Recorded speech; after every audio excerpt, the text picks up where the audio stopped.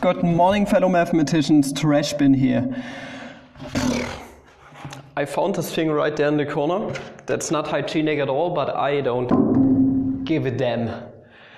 Back at differential equations today, that thing is sliding up on its own all the time. It's cursed, I guess. And we are going to talk about superposition today. If you're studying physics, you might have heard this before, or you didn't. Um, suppose we have two linear independent solutions, y1 and y2 to a linear homogeneous ODE. I'm talking about this because we have talked about linear homogeneous ODEs the last time, remember? And this little statement says that if those two are indeed solutions, then their sum, the superposition of those two solutions, is also a solution to this linear homogeneous ordinary differential equations. And also we can multiply both equations through by some C1 and C2, some constants. Never mind. We are going to prove this today using the nth order linear homogeneous ODE today. So let's remember what it looks like. We have talked about this in the beginning of the last video. So we have the nth derivative of y, and this thing is in terms of t. And it's now equal to the sum going from k equals to 0 to n minus 1 of some coefficients, functions of t or not, they can be constant, and the kth derivative of y. And for simplification purposes, we don't want to write this all the time. So we know that this function is with respect to t, it's self-explanatory. Let's just let it go, let it go. We don't want a t anymore. What a great song. And also, we want to use a different notation for those derivatives. Writing it like that isn't obvious at all how we are going to show it. So you might know this notation right here. So the nth derivative of y. We can rewrite this as d dt, but to the nth power of y. And there's a different notation, and that's the one we are going to use today. So that's the differential operator, capital D, to the nth power, times y, of y however you want to call it. So we are going to use this because it's easy to write. So what we want to do in the first step, we want to subtract this sum on both sides so that, that we get the nth derivative minus this whole sum. And also we want to absorb this minus sign that we are getting into this function of t or constant. It doesn't quite matter, let's just absorb it.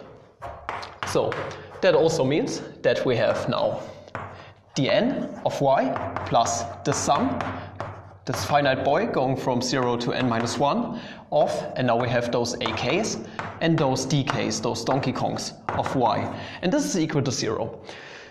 And obviously we can factor out this y right here. So that's something we can do. But do not get the idea that you can cancel out a y, for example, by dividing both sides by y.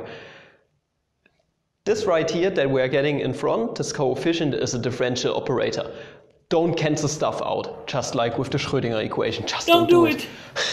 just leave it alone. So this that's equivalent to saying we have the nth derivative plus this finite boy from k equals to 0 to n minus 1 of ak Donkey Kong times y equals to 0. And this right here looks way more friendly than this long expression. And now let's take a look at the statement once again. If y1 and y2 are solutions, then this right here, the sum, the superposition is also a solution. So why not take a look at this equation right here in terms of y1 and y2? I wrote everything out and I hope it's kind of self-explanatory that both equations need the nth order derivative because they are both solutions to the same problem, to the same nth order differential equation just to have this out of the way. So our theorem states that we can also have some coefficients C1 and C2 that are part of our solution. So why not multiply the first equation right here by a C1 not equal to 0, so 0 times C1 is just 0, and that means we get a C1 times this whole chunk, and also a C2 if we multiply through here on this equation. But what can we do next? Well, one thing we can do we have a system of equations, so why not add those two equations together and see what we get? So we can do that, why not? So let's add those two together. And what would we get now?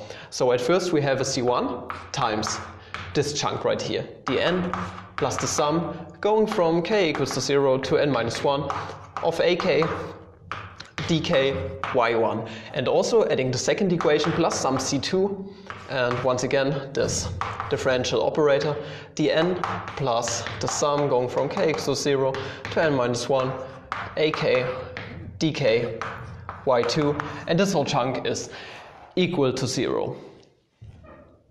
So that's nice. That's, that's really, really nice because we can factor out this differential operator right here and then we are basically done. So that's equivalent to saying we have this differential operator dn plus the sum, the finite boy going from k equals to 0 to n minus 1, ak dk times. And now we have c1, y1 plus c2, y2, and this is equal to 0.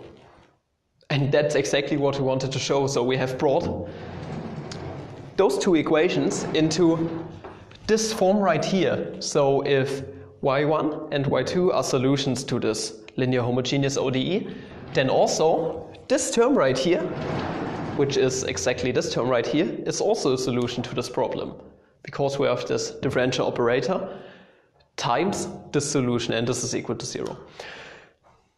That's what we wanted to show. QED, I would say.